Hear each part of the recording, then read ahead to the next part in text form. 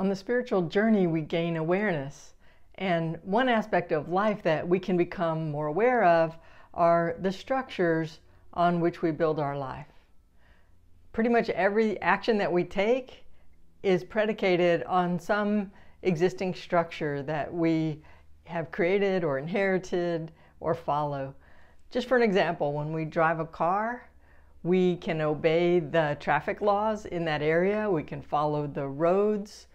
We can also choose not to follow the roads and the traffic laws and accept whatever results or consequences come about.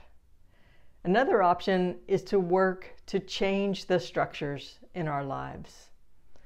I'm Reverend Shirley Knight. I'm happy to be with you this Sunday to talk about healthy structures, healthy lives.